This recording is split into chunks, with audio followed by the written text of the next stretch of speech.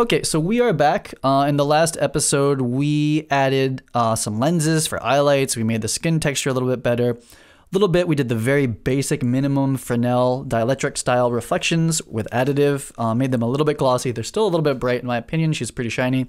And the clothing looks pretty good with just a diffuse map and just a bump map. No reflection. Jeans really aren't that reflective. Um, and those maps are pretty low quality.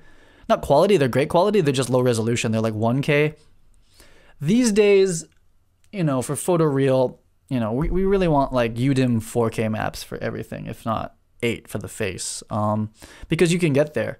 Um, the things that we would do moving forward, I'm not going to do them today because uh, we're going to do hair, is that we have this very even. Um, I just want to talk about stuff that you can guys can go research on your own, but is a bit beyond the scope of this today. Is that right now we have a very like um, still a plasticky kind of reflection, and you could try to use the spec maps if you think that those are going to work for you. Uh, and her skin is also very smoothed out. Um, so we could add a bump map on top of this, and that would start to add little things like the skin pores. And you can go even further on top of that. And with the hair system, we're actually going to do very basic hair.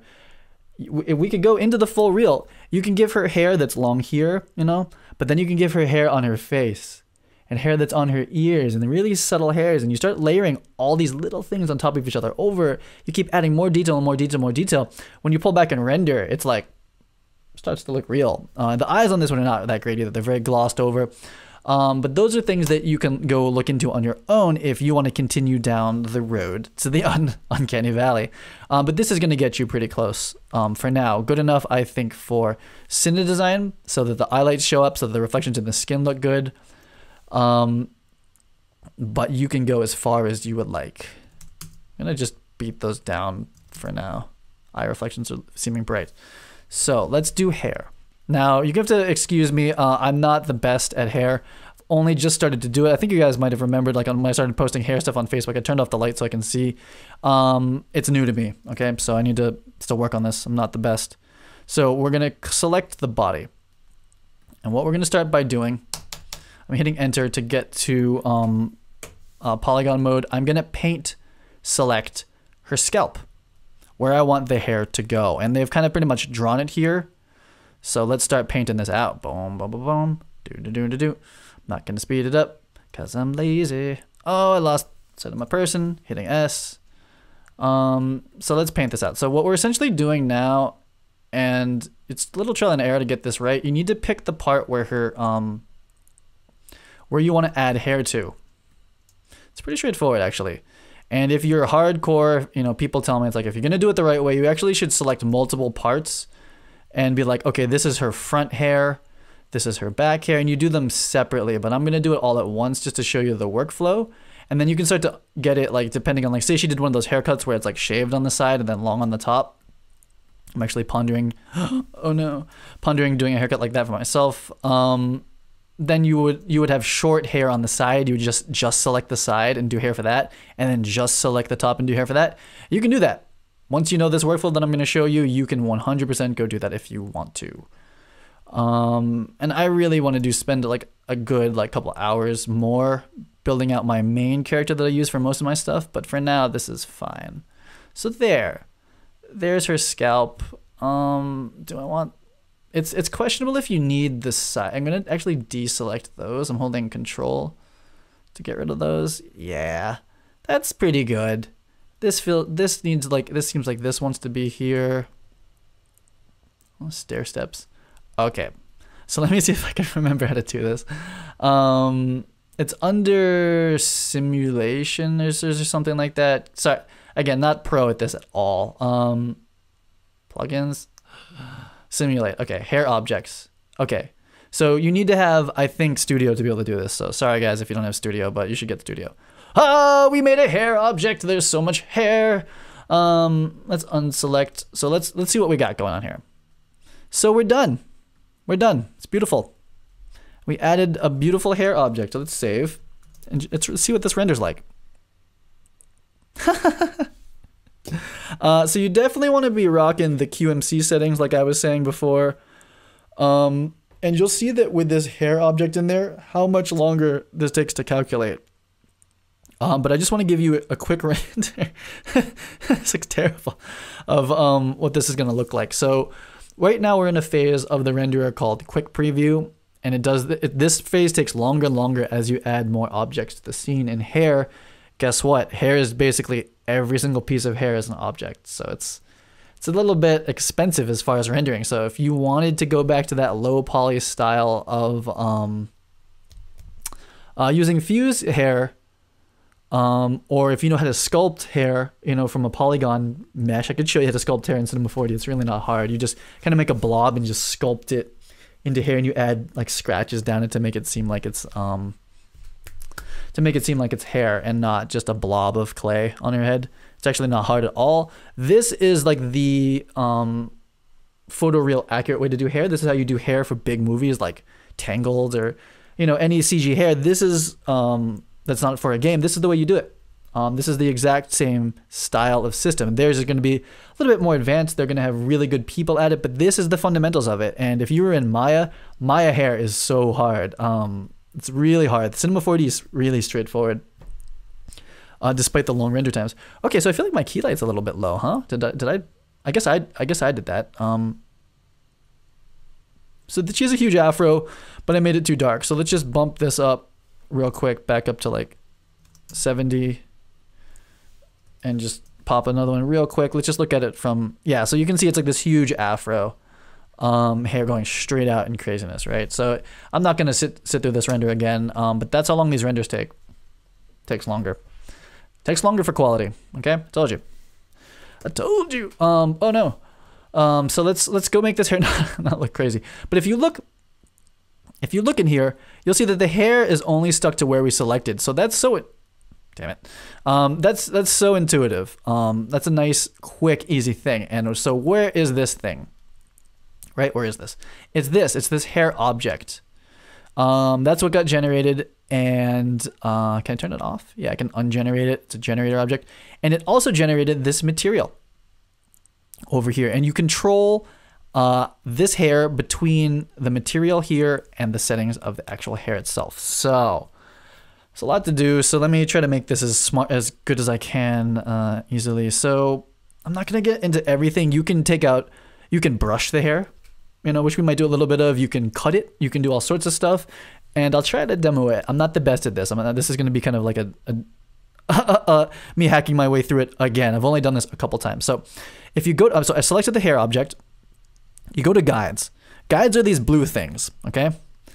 Um, and they, you, as you control those, that tells the hair where to go. So what you can do is change the count. So I could go to like 10, and now there's 10 hairs. Uh, I could go 50. I could go to 100. Uh, and the more you have, the longer it's going to take, but the more control you'll have over the hair system together. Segments is how many, um, say there's just one. Does this gonna make sense? Yeah. So if I do this to like 12, you can't see them. Can I change this to polygon vertex? What's it on right now? Polygon vertex? Polygon area? Polygon, polygon? Whatever, polygon vertex. Basically, this is divided up by a bunch of segments. We're gonna say it's like eight for now. Um, Growth, not going to mess with this stuff. Let's not mess with any of this stuff. Cool. So those are the guides. Um, length, that's the big one. So let's put this back to 500. So it's, it's she's got large hair. If I make it 10, she's got shorter hair. That's how we do it. 10 centimeters. Get used to working in centimeters, guys. Uh, 15, 20. If you want long hair, you get long hair. And this is why you'd want to break it up. If like you know you know it's going to be short on the side, put short hair on the side, make an object of just short hair. If you want long hair on the top, make an object that's just long hair. I'm going to make it all the same. But I'm going to make it 10. Oh, nope, not that. 500. Um we're going to make it 10. Oh, why is her hair crazy? What happened? What happened to you? Why is it like that?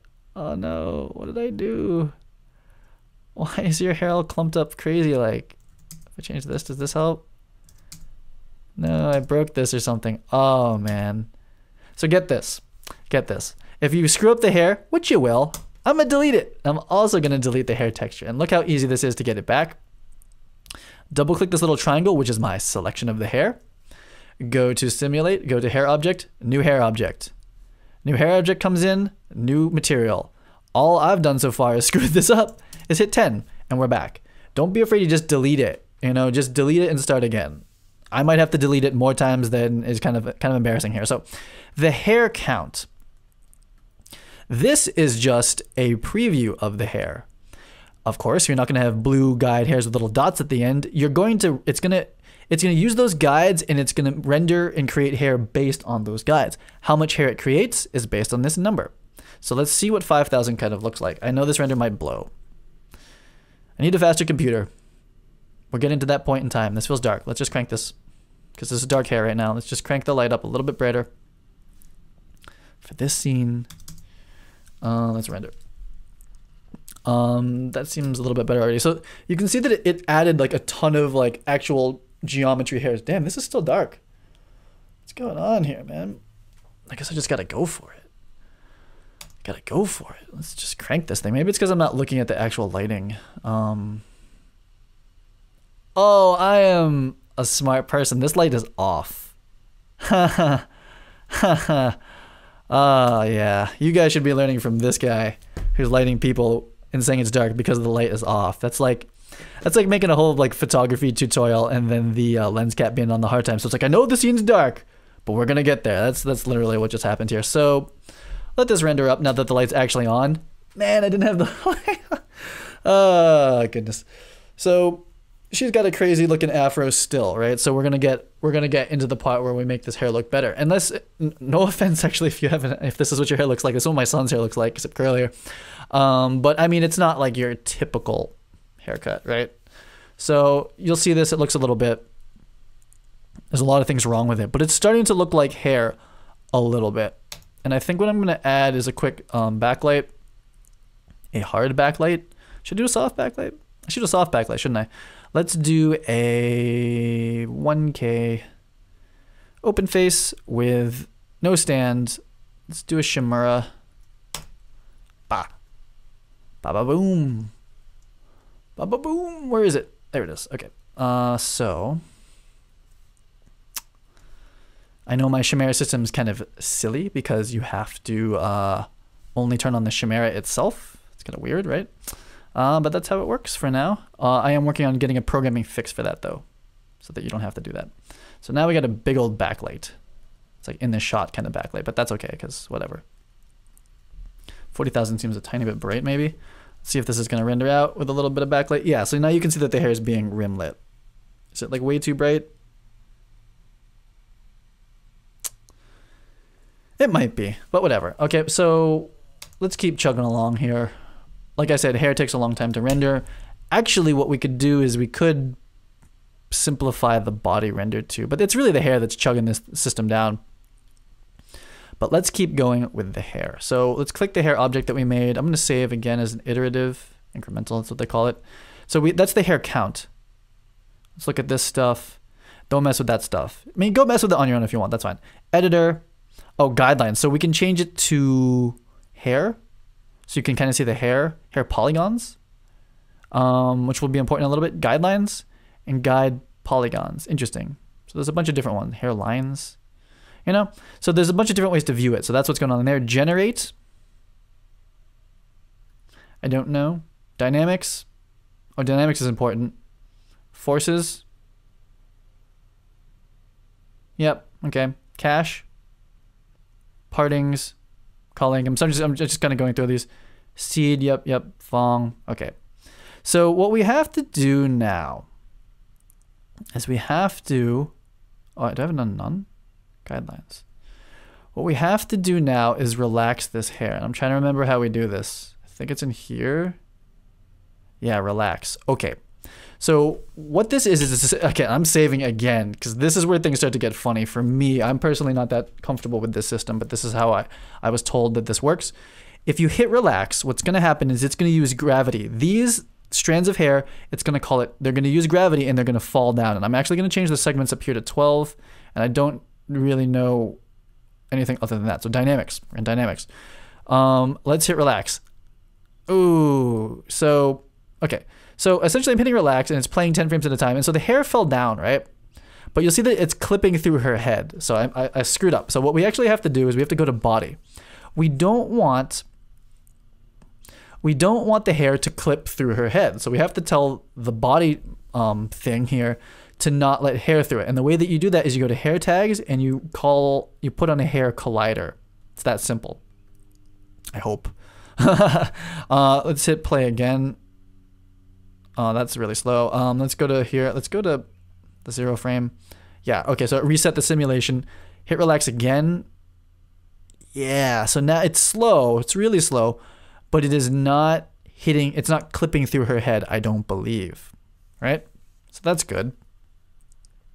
So we keep hitting relax until it just kind of like lands on her head. It's pretty cool. Um, I hit. I actually, I think I kept hitting it. This will crash your computer if you have the settings too high for something that you can't handle. So that's pretty cool already. That's looking pretty good for the guides. You can kind of understand how this looks. It's in her face, so we're gonna have to chop that away, and we can brush the hair, which we'll do in a second. I'm not saying I'm. I'm not saying that I'm good at that process, but I I will show you how to do it. Uh, let's do a a quick render. Um, and look at this. So to review, we selected the polygons on an object that we wanted to add hair to.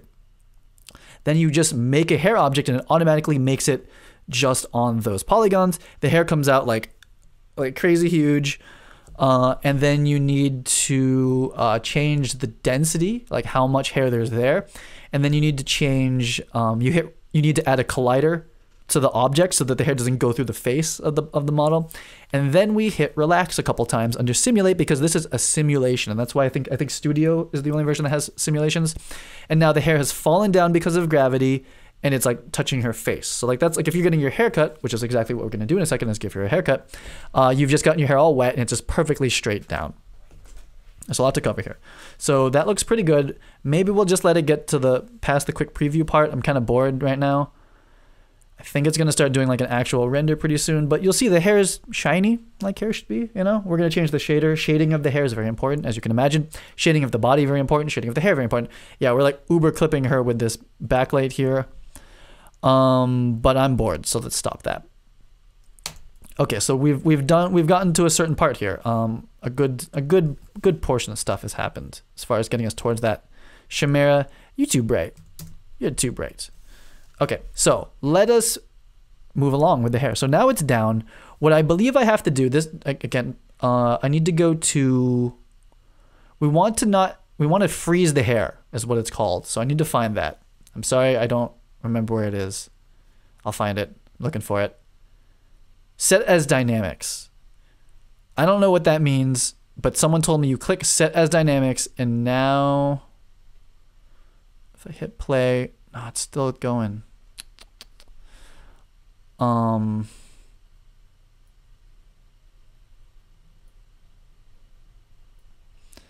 Hmm. Well, I hit set as dynamics, and that's supposedly not supposed to reset the hair to like Afro style uh, when you go to zero. And I think that's the case. So I think we're at zero and the hair stayed down. So good. Uh, there's, I feel like there's somewhere also in here that's like, it was like set um, initial state or something like that. Like make this the where it starts. Should probably turn on hair to hair. Should probably turn on hair. Ooh, should probably should have turned on hair to hair um, so they don't the hair doesn't clip through each other. But set of dynamics, that's what they told me. So yeah, we'll start there. So we're gonna save, and I'm just like save happy here because I'm always concerned that this is just gonna blow up and die. What we're gonna do now is we're gonna cut the bangs off of her. We're gonna cut hair. We're gonna do. We're gonna literally be barbers and cut hair. So what I would like to see is all the dots though. I'm only seeing the end effector guidelines, guide polygons, guide hairlines. Is that what we want? I think it's guide hairlines. Maybe. Uh, let me just spend two seconds here. Sorry that I don't have this memorized. Um, I feel like I need to be able to see vertex, edge, center, area. Which one is it? It's not UV. Okay, that's the root. That's not what I want to mess with. Uh, I need to be able to see the segments.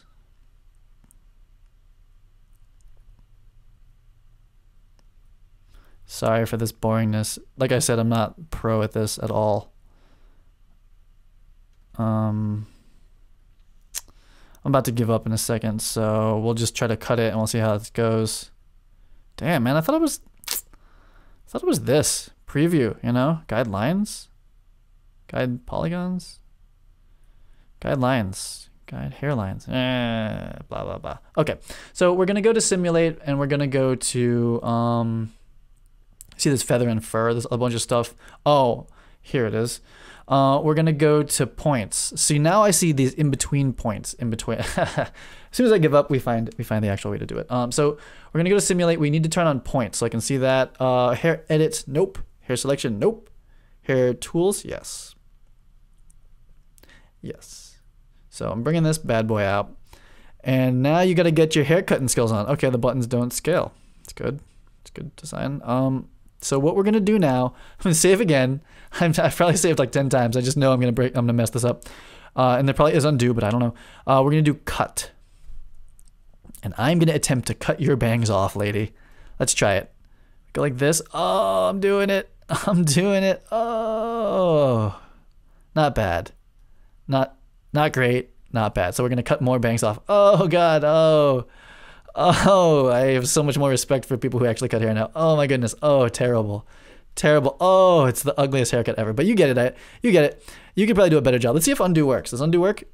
It does. It does work. Okay, so we, we can always keep doing better jobs, right? Let's do it. Let's do a weird cut. Let's do like this, like uh, uh, uh, uh. Oh no, no, I cut the back hair. You know, I cut the back hair. Let's do this again.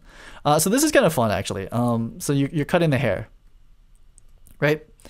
Uh, and no one has made a tutorial that I found, and I, I, looked around a bit. Maybe there is. You guys can link it if you find it. No one's made like an actually like comprehensive like just make a normal ass haircut kind of video. And this is what I'm trying to get to you guys is how to do this because it's kind of intimidating like when you start, but when you see the whole thing all together, it's really not too bad.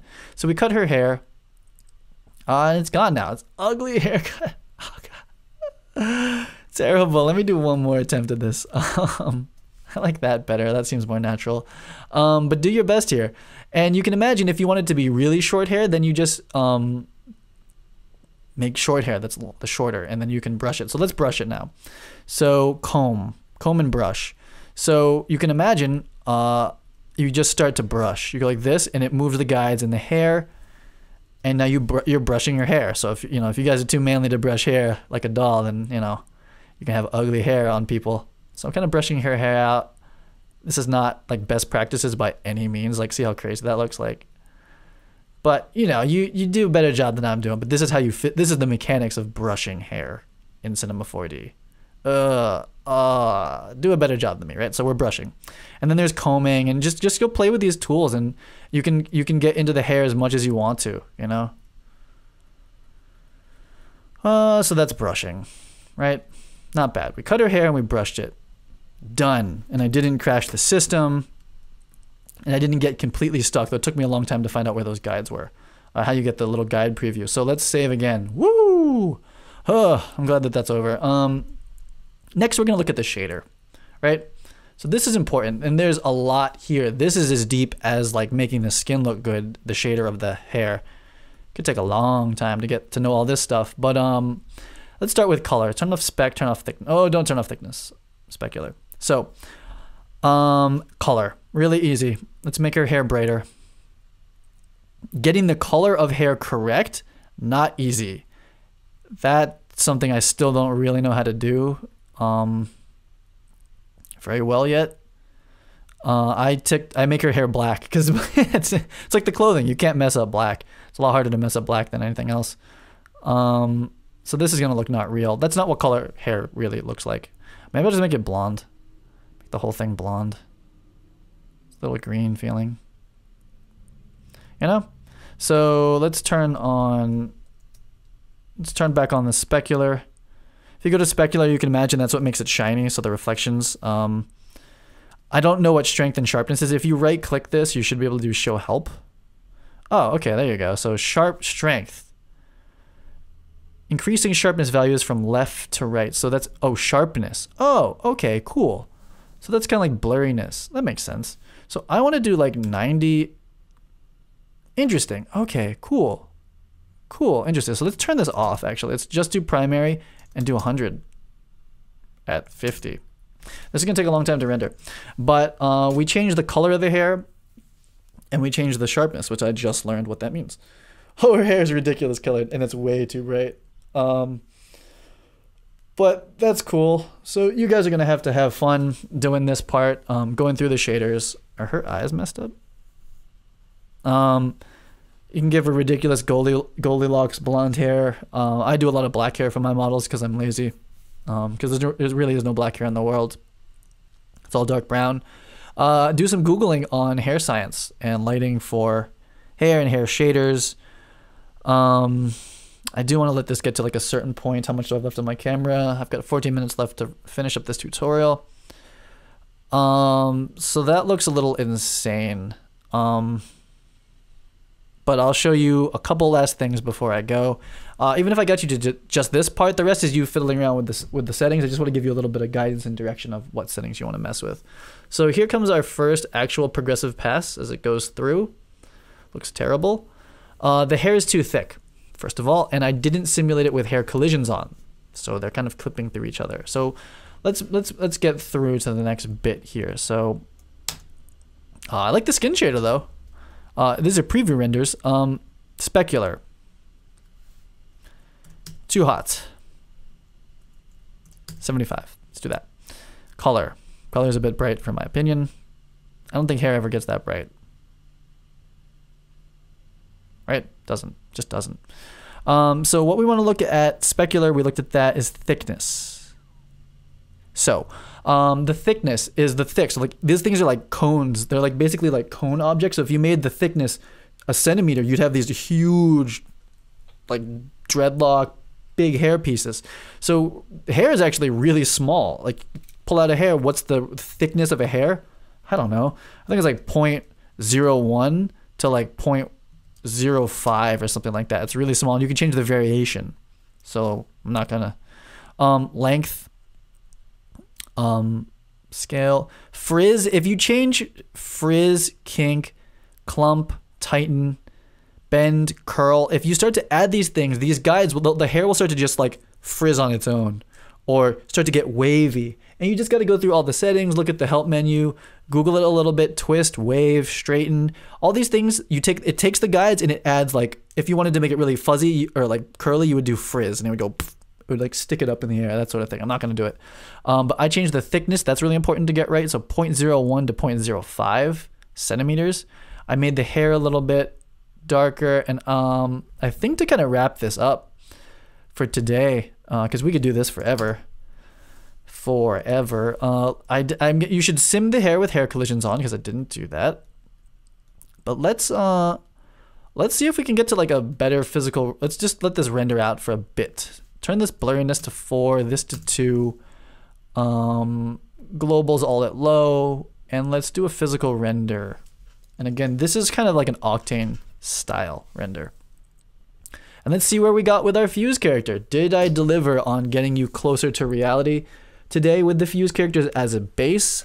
I believe I have. Um, so to recap from the last episode as we let this render out, we brought in our Fuse base. Now remember in Fuse, generate high quality textures, high resolution textures. This looks terrible, her hair. I need to add more hair. I need to add more hair. Um, then we brought them in.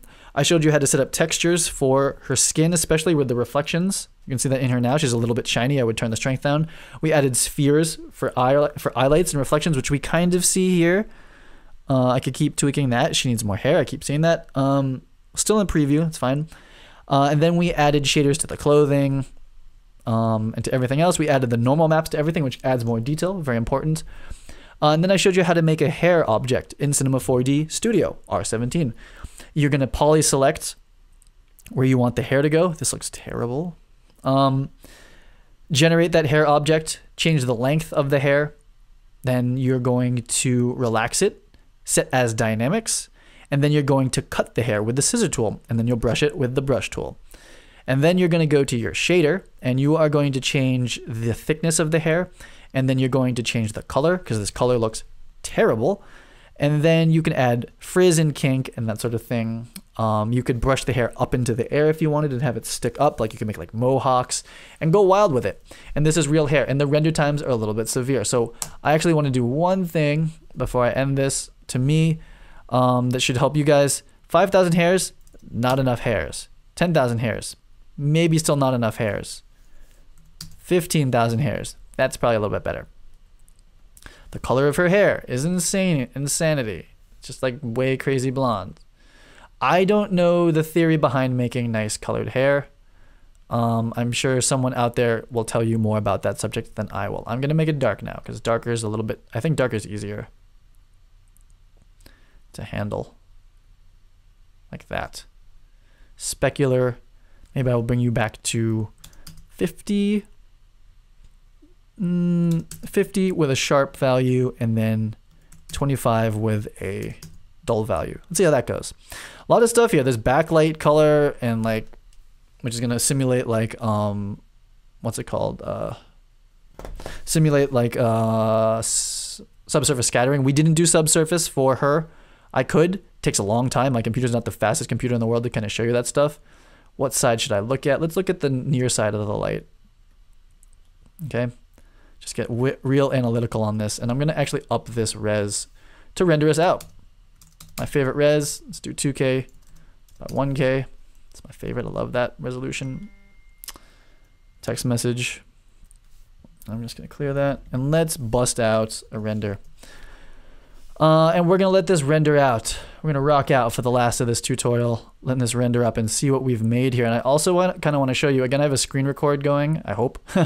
um, show you just what real time this kind of looks like as far as um, a MacBook Pro with the NVIDIA, not that the video card really matters, NVIDIA um, GT750 mobile card, so not the not a Kessler card or Kepler card or whatever, um, and using physical. This is the physical renderer with the primary GI set to QMC, secondary set to irradiance, everything essentially low, samples a little bit higher for the shininess uh, to get this looking okay. And then this is gonna take forever. Uh, maybe I'll let this render on my end, and then at the end of the video, I'll, I'll just show you what the final render kind of looks like as a as a as a progressive render. Maybe I'll do a, a, nice beauty render. I should probably do a beauty render just to show what this is going to look like. Um, yeah, so this isn't probably going to finish anytime soon, but we'll see. So that is our look at making photoreal Fuse characters. And if you've bought, if you watch the other tutorials, if you bought some humans from 3D Scan Store, it's a very similar process.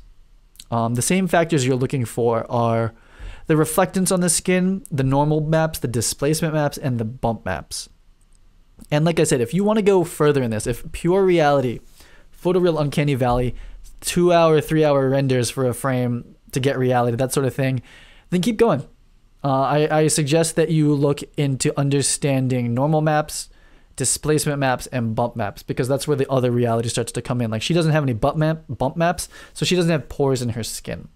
Uh, then you want to look at subsurface scattering because if hair, if you have light coming through like uh, ears from the back, they glow red because there's blood in them, and vessels and skin stuff.